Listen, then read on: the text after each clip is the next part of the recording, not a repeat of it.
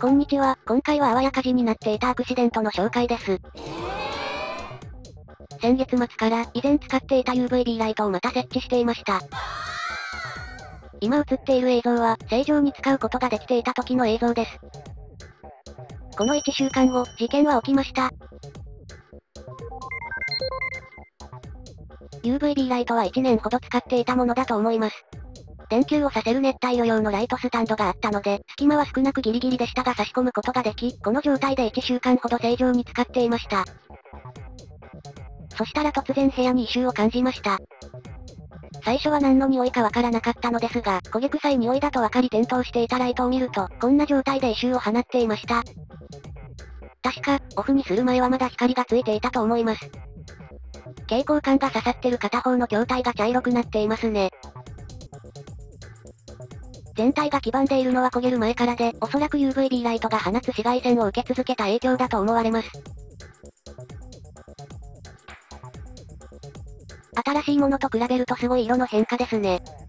爬虫類用の UVB ライトは、太陽光と比べてしまうとわずかな量しか紫外線が出ていないと言われていますが、わずかでも当たり続ければ効果は大きいかもしれませんね。余談ですがこの焦げたライト、店で買って使い始めたら数日で点灯しなくなったので、メーカーに連絡し一度交換をしています。ネットのレビューなんかを見ると、私と同じようにすぐ玉切れを起こす問題は多いようです。まあ玉切れより焦げる方が恐ろしいですが。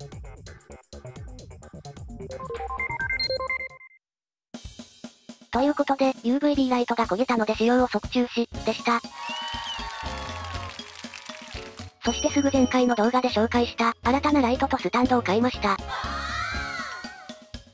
焦げた原因は、ライトが古かった。熱帯魚用のスタンドが悪かった。